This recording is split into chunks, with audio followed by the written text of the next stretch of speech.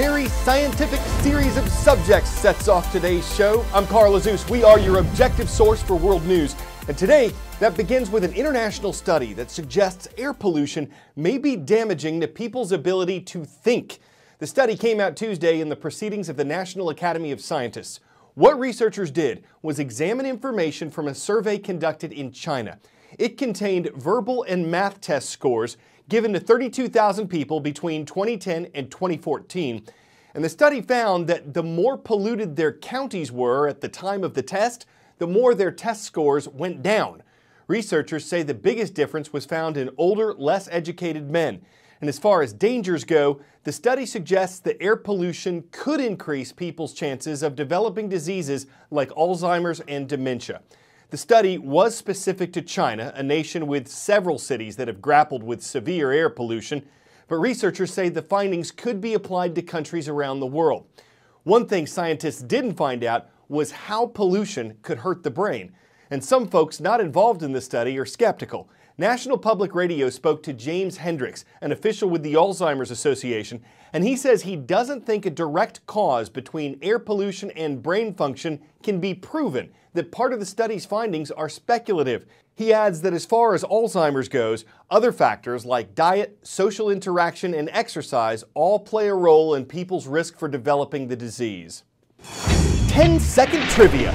According to NASA, what poses the greatest risk to space missions? Malfunction, debris, lack of funding, or war? There are millions of pieces of debris in orbit that are too small to be tracked. NASA says they're the greatest threat to missions. NASA also says something as tiny as a fleck of paint has damaged a number of space shuttle windows. So imagine what could happen if a satellite were hit by an object the size of a marble. NASA estimates there are 500,000 pieces of space junk that size, traveling as fast as 17,500 miles per hour. Defunct satellites, old rocket boosters, pieces of garbage from collisions. Space debris is the result of 50 years of space travel and not a lot of work to keep space clean. Government and private sector organizations are working to track space junk and potential solutions are popping up on college campuses too.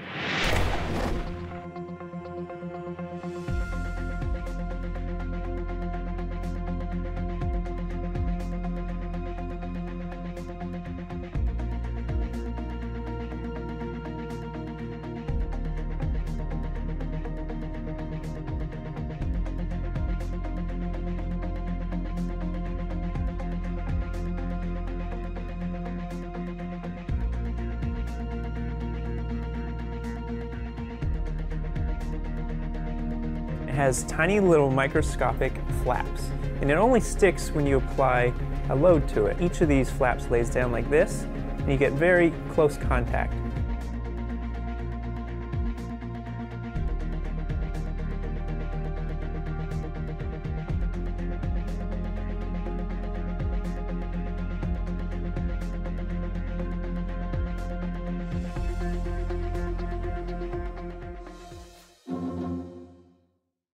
Course, the reason there are so many man made objects in space in the first place is because of the value they've brought in looking down at Earth.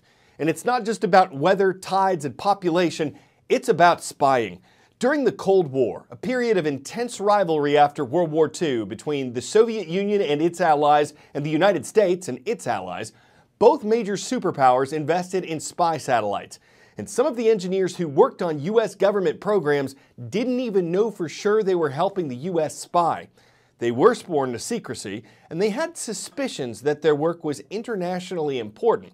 The project was declassified in 2011, so now they can talk about it.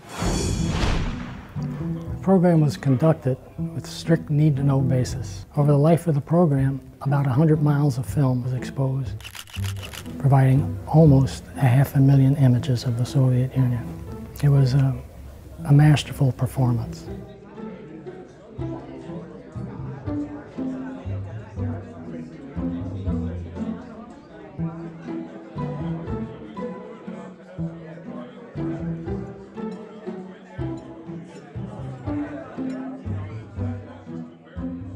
We couldn't tell anybody what we worked on friends, family, even our wives. She was always fighting off somebody asking, What in heck does your husband do? He's never here. It was kind of tough in the early years, particularly at parties and stuff, when people would ask you, What do you do? Well, I'm an engineer. Yeah, it's about all you could say. And I can remember quite well the feeling that we were contributing to something that we thought was important to the country.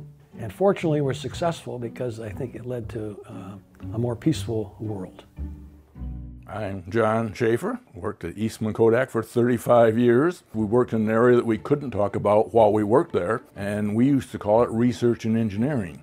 Uh, it was the government side of the business where we worked on spy in the sky satellites.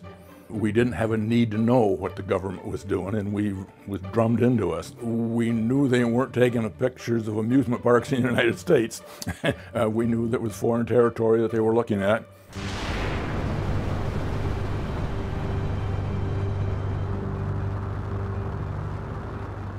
Gambit was able to, at its best imagery, identify objects that were uh, smaller than one foot in size. It's one thing to know that an object is there, it's another thing to know how quickly it's advancing. So say we're interested in the development of an intercontinental ballistic missile. Gambit allowed us to not only identify its location, but we could identify whether or not it was becoming a more sophisticated weapon. So it was an effort really to safely observe what the Soviets and the Chinese and others were up to. Even to this day, we continue to classify the best resolution capability of the Gambit system.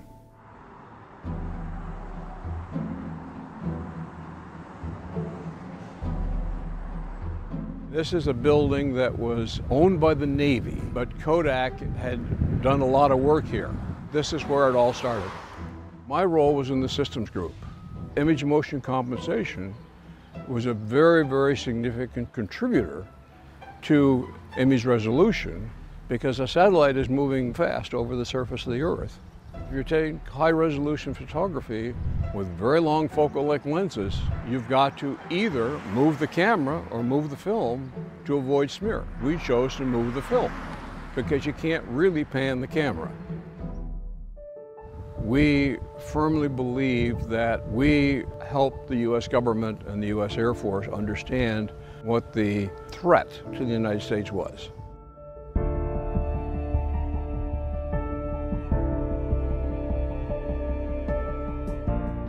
I feel that most of us were very proud of the work we did.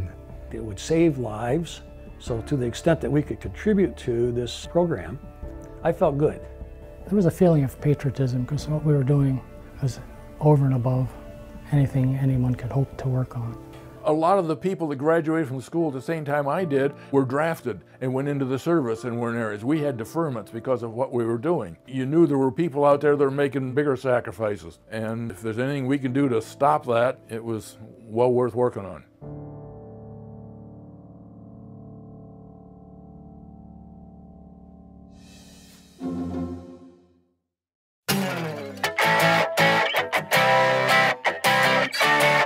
For 10 out of 10, a college course in robotic musicianship. What the program aims to accomplish is interaction between people and machines, using the strength of both to create new kinds of music.